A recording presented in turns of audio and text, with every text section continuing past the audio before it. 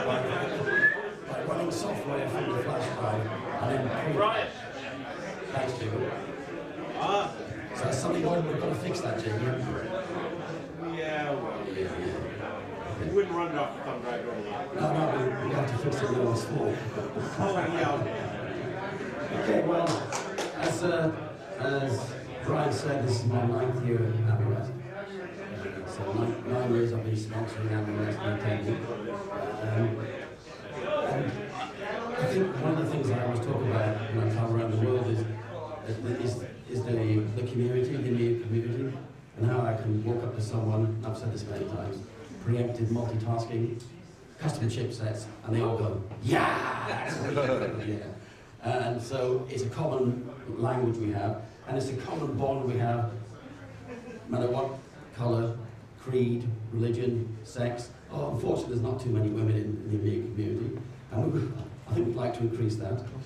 Uh, although uh, Aaron told me the first X5000 he sold was to uh, uh, a young woman in New York, so I was quite impressed by that. Um, so for me, Amiwest is about celebrating the, the legacy of the Amiga, but also looking forward to the future and, and the continuing existence of the Amiga.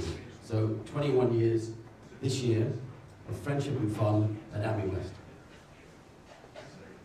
But what's Amiwest about? What's the essentials? Well, yeah. Let's and ball shoes and socks, of course.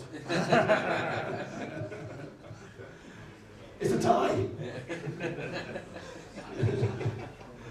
it's the belt. Don't forget the belt.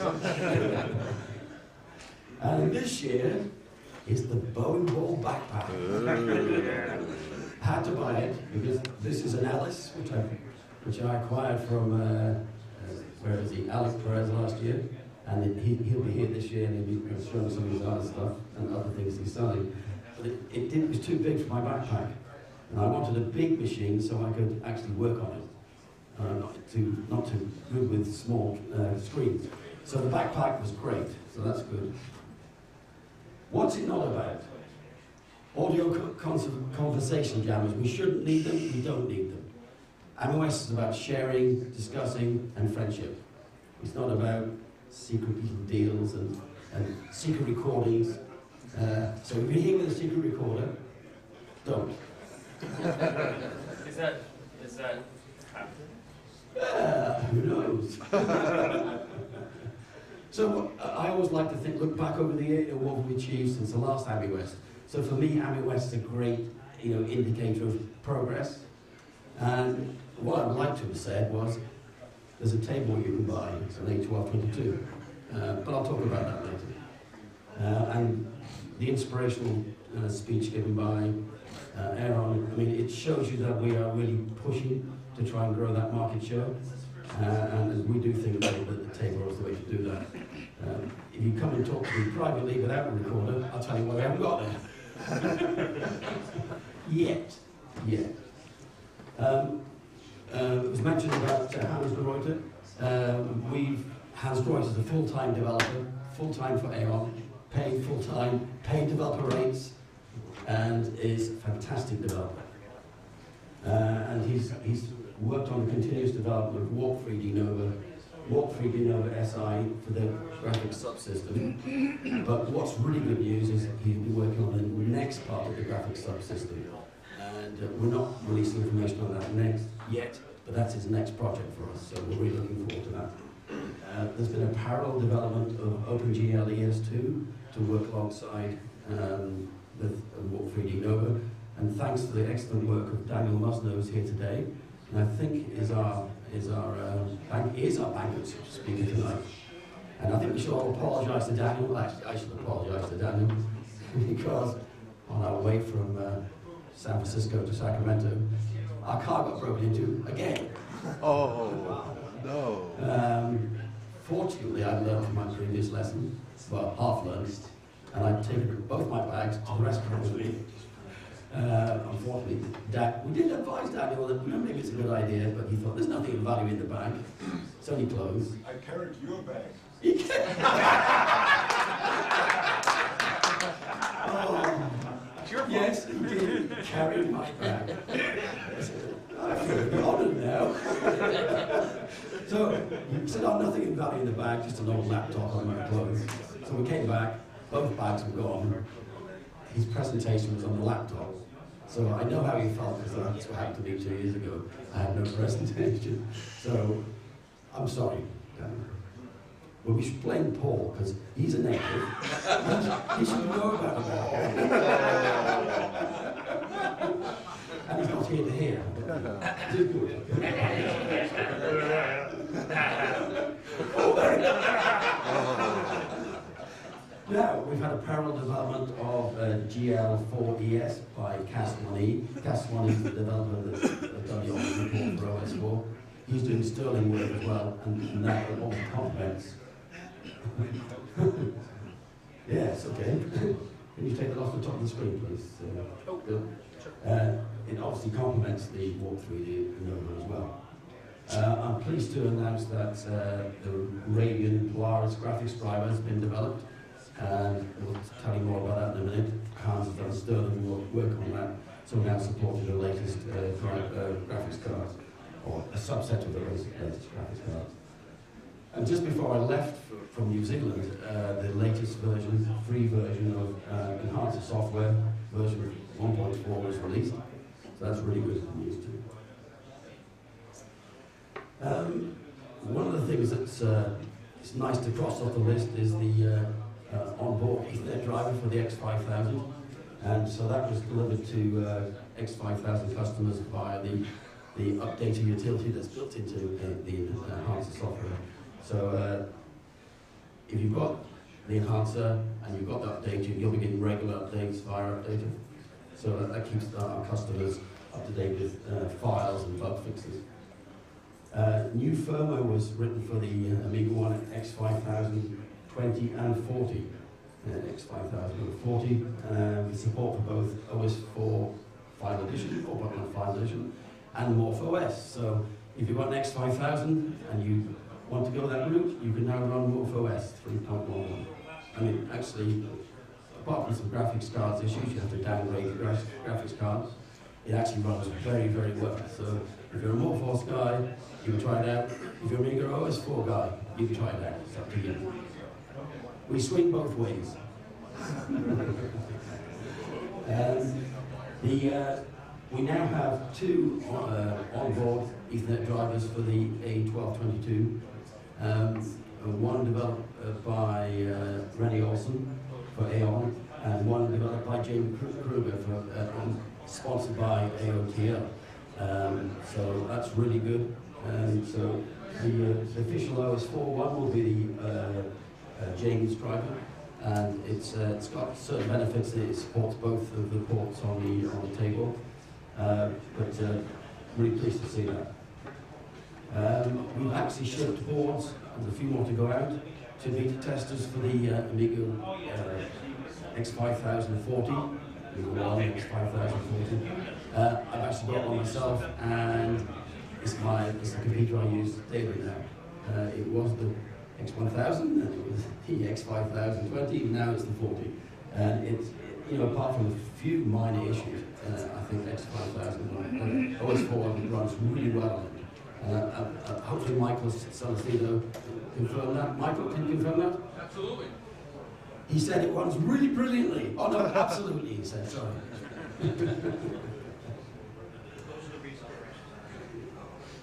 we still got that. Uh, Did it pop up again? Yeah, yeah. You- I talked about the enhancer software briefly, but the enhancer software was released in November 2015. There's been a, a number of free updates. There'll be one further free update for uh, enhancer, and that will be December 2018, and that will be the last uh, uh, update for version 1.5 or version 1. And uh, we're now moving on to and that will be coming out before Christmas, so you'll all, any enhancer uh, owners will be able to download that free of charge using Updata and happy Christmas, that's great. But obviously we haven't stopped working on Enhancer and we have uh, Enhancer 2 that's been going on alongside in parallel with Enhancer 1. And this, uh, version 2 has had 19 full beta updates today. The last one came out just before I left And this, what does that do? Well, this brings in all those new uh, drivers we were talking about last year uh, for the regular user. Beta testers have been using this, uh, A-EON beta testers have been using this for quite a while. But uh, we're bringing out the new RadeonHD driver, uh, the RX driver uh, for the Polaris graphics cards, the new Warp 3D Nova and Warp 3D SI, uh, all the utilities that, that improve the uh, OS4 experience. And for the first time ever uh, on any Amiga OS hardware, uh, hardware monitoring API. It's the first time that, so- so we can look at the, the CPU, the temperatures, the, the, the health check for the Amiga, for the machine you're running on. Now, okay, other systems have had that for a long time. It's been mainstream, but it's the first time Amiga OS 4 will have it as an API and not a clutch. Before that comes out, that, that should be out early next year, we are going to release the Enhanced Graphics Upgrade Pack, which will give you all those features uh, for the advanced uh, uh, graphics capability. Uh, and this will be, uh, if you buy this pack, you'll get a free update to the version 2, the full version 2 when it's released. So details on this will be released in the next few days. We'll news release out, but I'm, I'm really looking forward to seeing this out because not many people have seen what uh, the uh, the uh, advanced software can do. The RadeonHD driver, with the- breaking that 256 megabyte uh, graphics RAM barrier. We announced it last year. It didn't seem to make much news, which quite really surprised me. So the first time any Amiga OS machine has been able to use more than 256 megabytes of the virtual graphics or the extended graphics memory. So you, you can actually use the graphics the GPU to do the work and not rely on the operating system all the time to, and the CPU. And, and below that 256 um, memory barrier. And you probably saw a, number of people bought Spencer from uh, Edgeworth. And this is actually Spencer running on a, a 5040. And you can see we're using 89% of 89 megabytes of the, the GPU RAM. Uh, and 59 megabytes of the, let's call it the, the, uh, the graphics RAM under the OS4. So uh, it's, it's really, it makes games that really are uh, graphics RAM hungry able to run. Um, so Spencer was the first game developed really for this, and N20X have said all the other games they develop will use the walk, Warp 3D Nova features. And with the continuous work by Daniel Müssener uh, and, uh, and others, and the work that uh, Hans been doing on Warp 3D Nova, to expand it and extend it, that's going to really uh, help the developers going forward. Uh, I'm pleased to announce that uh, we're calling for beta testers for the enhanced software classic version. We're ready now to do a real beta test program for that. And so if you're really interested in helping uh, create the enhanced classic software, now's the time to contact us. Enhancer software at amiga.org. And uh, this is a, a, we talked about this a year ago.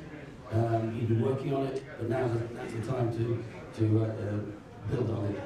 If, you, if you're wondering what's going to go in there, things like um, uh, Media Toolbox, that's on OS 4.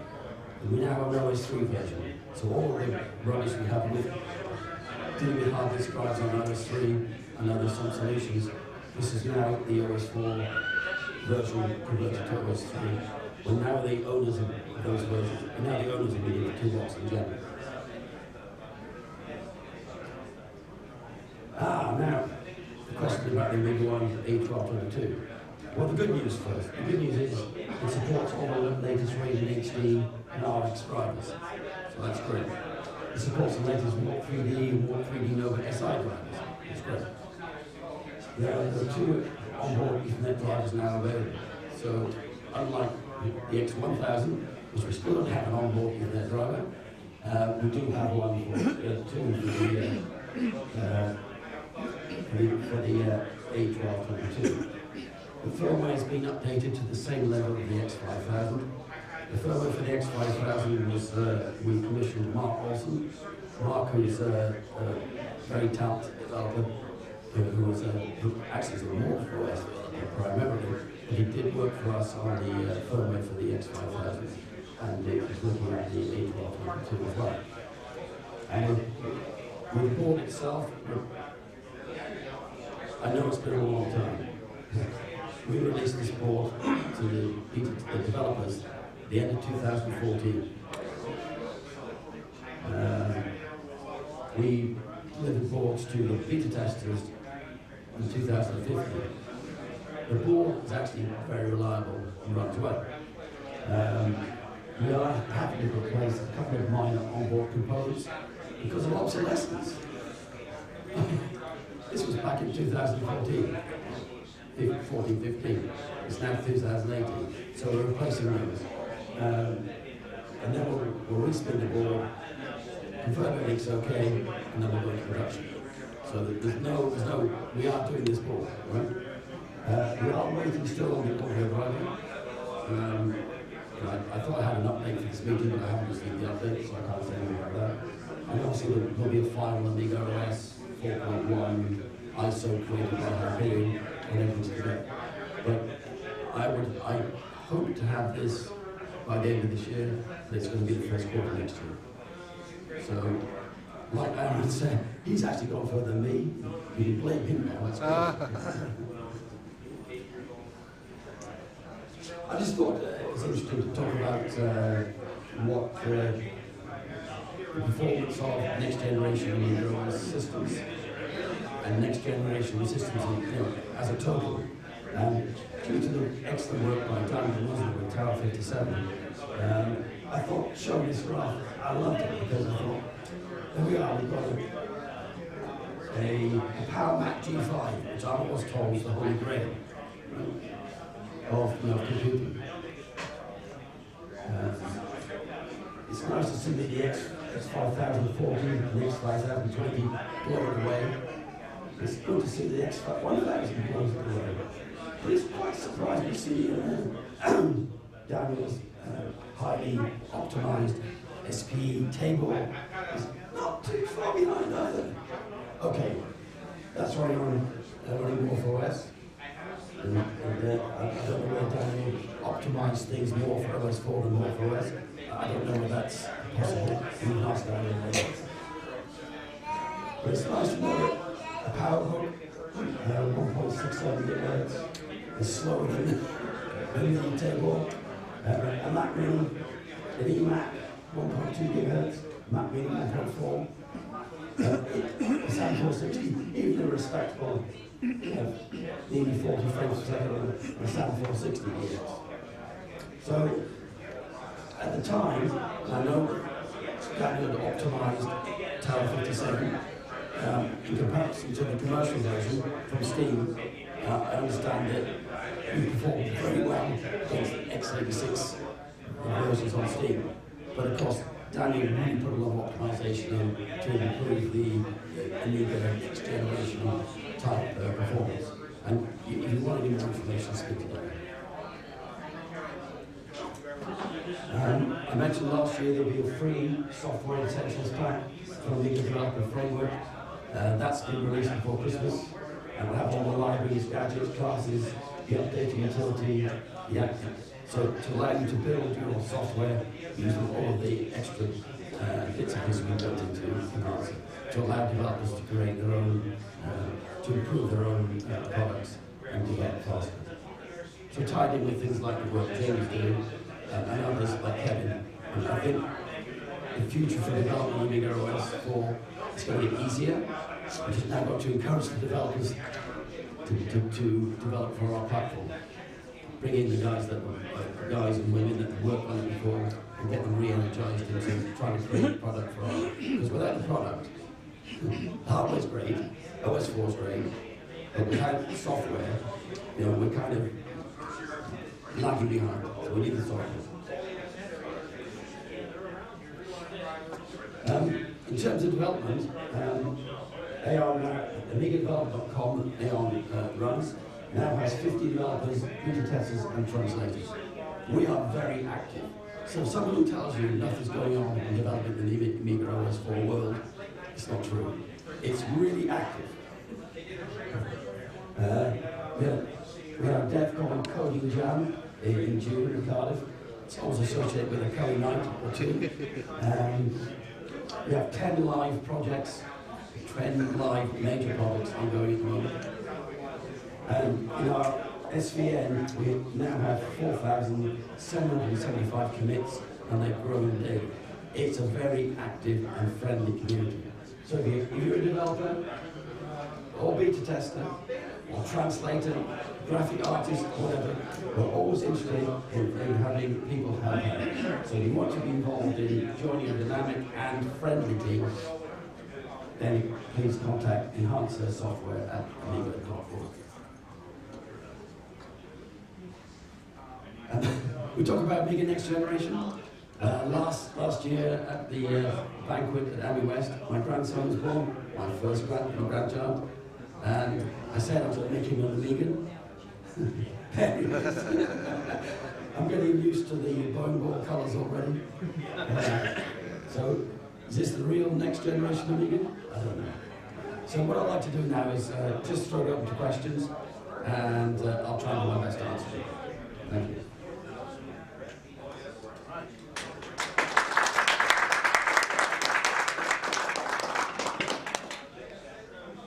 Hey, Trevor? Yes. The, the, um, so I'm, I've got an X5000, I've got a Radeon 70, 750 in there, and it's the Warp, uh, the old Warp 3D SI driver that I got works wonderful. Uh, but I'm interested in getting the new Radeon driver so I can get a Polaris card.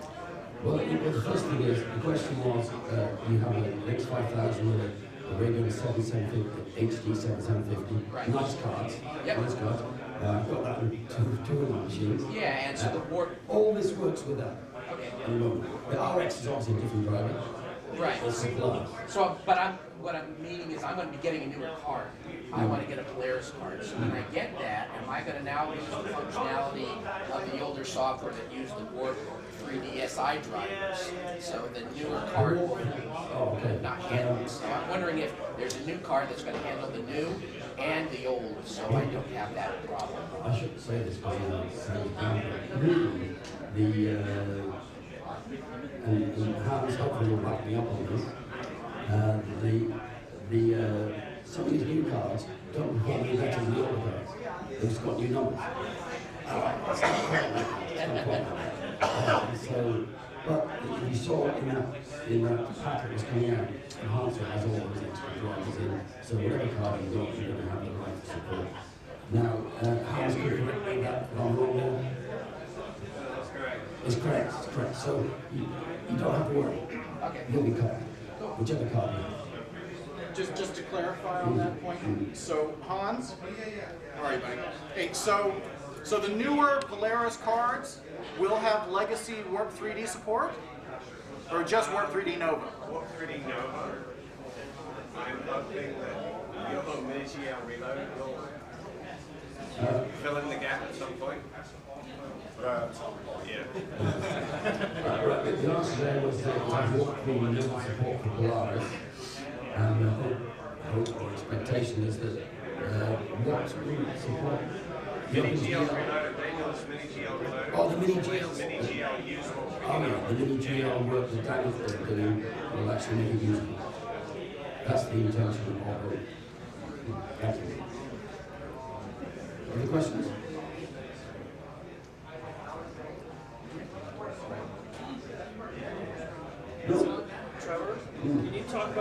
2T and answer 1, 2, and 3. We've got three. Yeah. Yeah. I'm assuming. Well, Enhancer 2's got all the extra graphics work we're.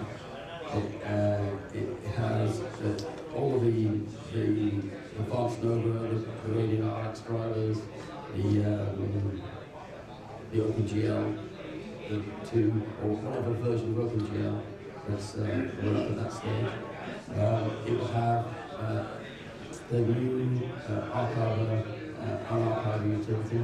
It will have a whole bunch of new uh, gadgets, data types.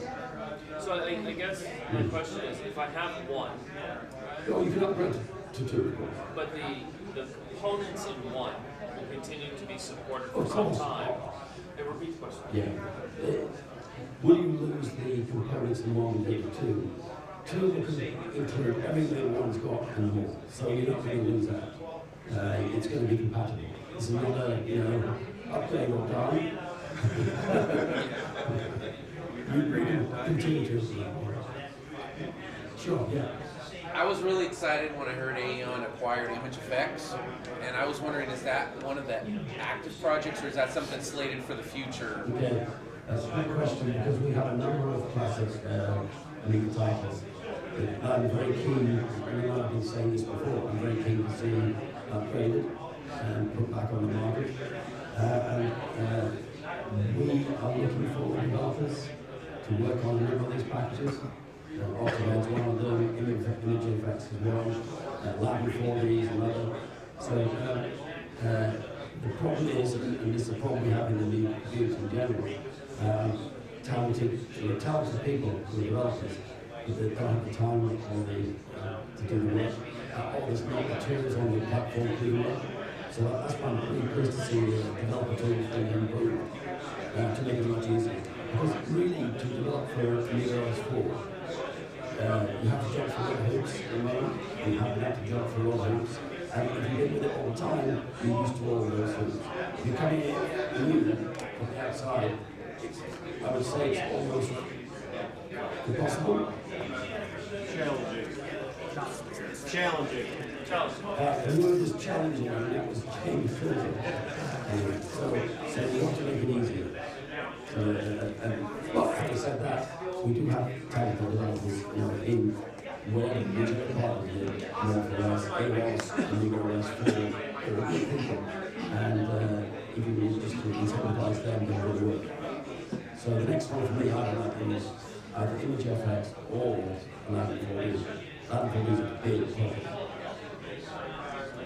Would A-EON consider re-releasing the existing 68K version of the software that you acquired so people can get their hands on an official package as opposed to having to find it elsewhere? The question was, uh, would we release the classic Amiga titles that we have, uh, rather than let people searching elsewhere for them? Uh, yes, it's a good idea. Um, and someone asked me about, or asked Matthew about this, though. Now, Matthew looks after the uh, Amiga developer team, so uh, it's one thing I'll have to uh, have a with him. Hey Oh, Trevor, idea. from the internet, uh, update on LibreOffice. Oh! Yeah. The. Yes. Uh, what's the update on LibreOffice? Okay, right. Uh, actually, I got a big update from Hans, Hans yeah, uh, yeah, the e uh, Hans been working on LibreOffice as a part-time project for us for the last two years. Um, halfway through, after the first beta was released, um, there was a few insurmountable problems with LibreOffice on Windows OS 4. Windows OS 4 just did not have certain things that were needed, and it was, it was just impossible to do. However, um, LibreOffice 5 was um, recompiled and, uh, and put together for Android. And Android, so they had to make of changes in, in the LibreOffice for Android, which made it much easier for us now under OS 4 to create a LibreOffice version. So for the last year, he's been working, converting everything to LibreOffice 5. And, and then we're now at the stage where we were in LibreOffice 4 before we had these uh, insurmountable problems, uh, which we couldn't overcome OS 4. We're now about to create the first beta again. So it's been a long, long process. I never expected it to take this long, but when you have one man working part-time uh, on a project that's as massive as the office, it's amazing he's got as far as he's got. And so when would I expect to see the big, there's a few beta testers already, but I expect to see another update, uh, I would think really uh, in, in January, so we have to start updating it. Will I ever make any money on LibreOffice? Ah, So another question from the internet. Uh, is A-EON engaged in web browser development that will support Google Docs? Right, web browser development Google Docs. Well, um, it's interesting that uh, Odyssey kind of supports Google Docs. Uh, Last time I looked, it's, Depends on what you search as, but anyway, it's a challenge. Okay, yeah, yeah. Uh, so we desperately need, despite all the great work by uh, kas1e, we're lagging behind on browsers. There's no doubt about it. The browser now is almost like an operating system, and it's almost a must-have. Um, we do okay with Odyssey, and we've got our legacy browsers like uh, AWeb and uh, IBrowse, which facilitate really for modern browsing.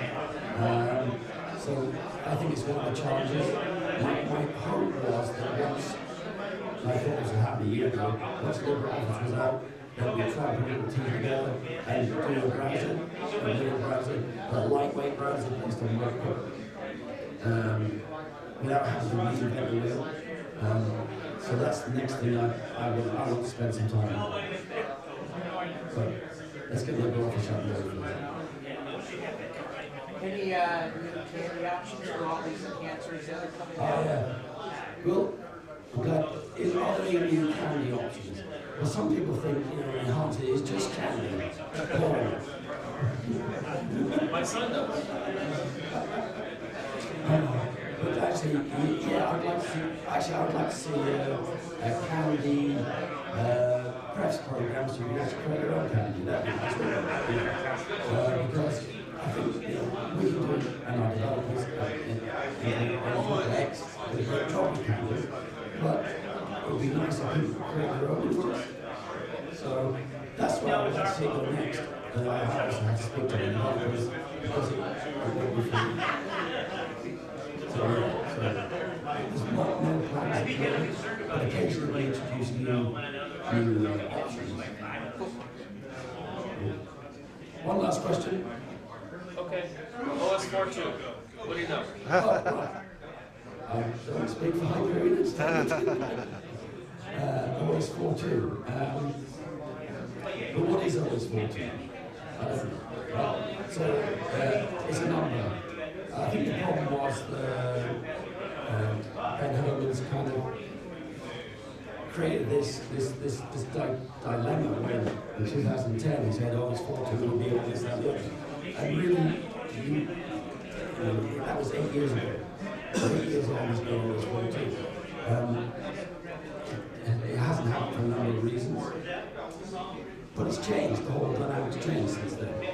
I mean, OS 42 has been in Galley. When, you know, has been, you know, discontinued for a moment, and then the work over, uh, uh, all that work is, is replacing that with um, work, uh, SMP was supposed to be supported with 4.2. Okay? But I think that's where the next part of development will go for exec SG. So uh, I can't talk about that because I'm involved in exec SG. Uh, so um, that's where we'll focus. I think we're trying to put a team together to, to make that happen more quickly. But As, as the rest of it was 14, 4.2, I can't really comment because you know, I'm not uh, really exposed to planet. That's it then. So no more questions. Thank you very much. Um, my voice this year is not as bad as the previous years, but I've had more sleep. So I'm hoping to break that tonight uh, after they have. So there's a challenge for everyone.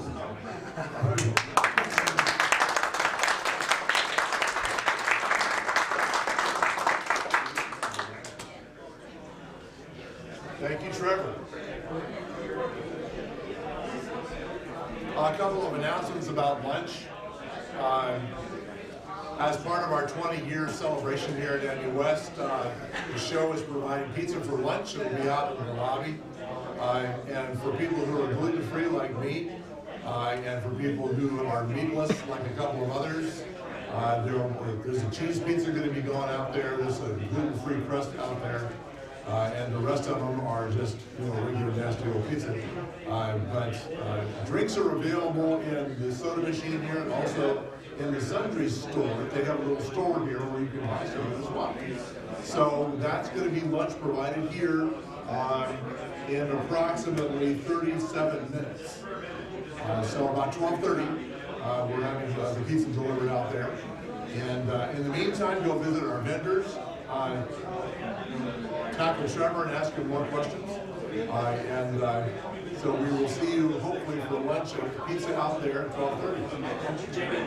And Jamie is going to be presenting at one o'clock after lunch. So, uh, go enjoy the show.